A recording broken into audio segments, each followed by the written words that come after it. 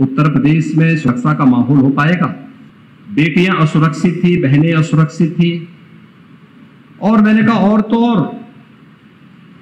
एक सामान्य बैलगाड़ी और भैंसावान भी जाता है तो उसके उसके जो भैंस या उसका भैंसा या उसके बैल भी सुरक्षित नहीं थे। क्या एक सांस में आप लड़की को और भैंस को बोलेंगे?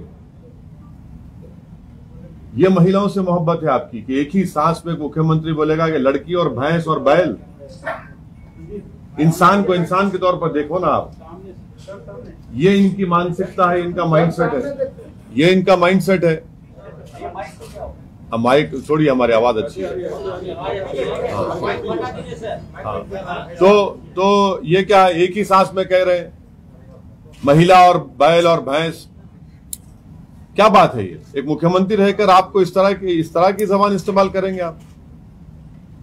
ये आप लोगों की महिलाओं के लिए ये इज़्ज़त है आपकी? बिल्कुल गलत है। इसको, हम इनके इस तरह के बयान को बिल्कुल हम कंडेम करते हैं।